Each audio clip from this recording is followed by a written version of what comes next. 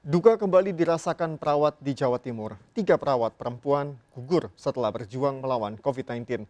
Ketiga perawat terpapar COVID-19 di tengah lonjakan kasus COVID-19. Tiga perawat dari sejumlah rumah sakit di Jawa Timur gugur Sabtu lalu setelah berjuang melawan COVID-19.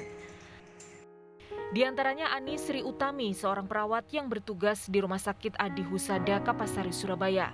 Sebelum meninggal, perawat berusia 53 tahun ini sempat menjalani perawatan selama 27 hari di rumah sakit tempatnya bertugas.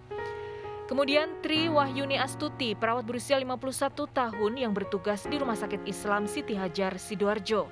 Ia pun sempat dirawat 12 hari di ruang isolasi khusus.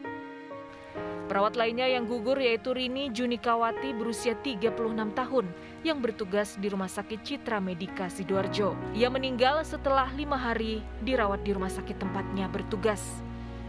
Ketiga perawat gugur di tengah lonjakan kasus COVID-19.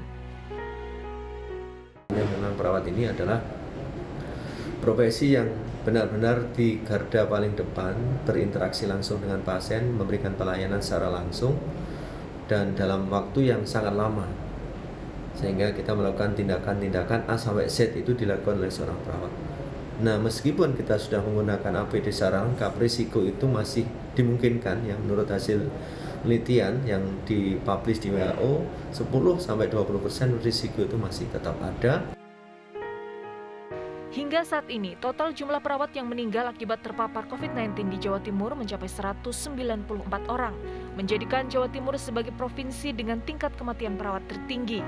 Sementara lebih dari 4.700 orang perawat terpapar COVID-19. Dari Surabaya, Jawa Timur, Yuda Prawira, iNews melaporkan.